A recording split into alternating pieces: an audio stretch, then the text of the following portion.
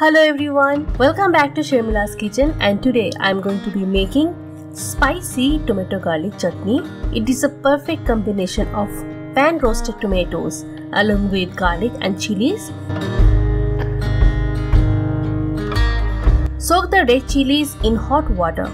The process will soften the chilies and then it will be easy to blend with spices.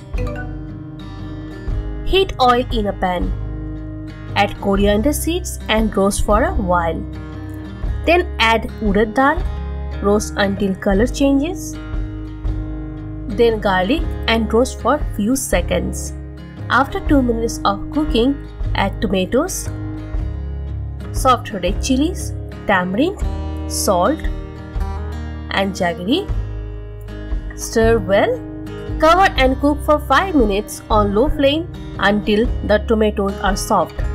Now let's cool down the soft tomatoes. Put this tomato with spices in a blender jar.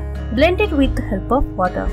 You can adjust the consistency by adding more or less water. I added half cup of water.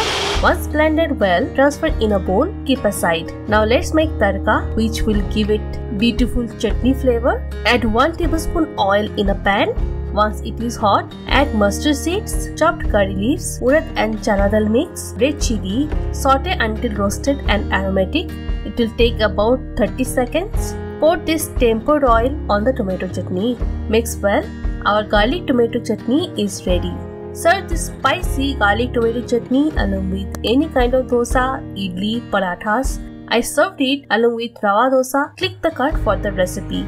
I hope you guys enjoyed watching the garlic tomato chutney recipe. If you like this recipe, please hit the like button, share with your family and friends and don't forget to subscribe.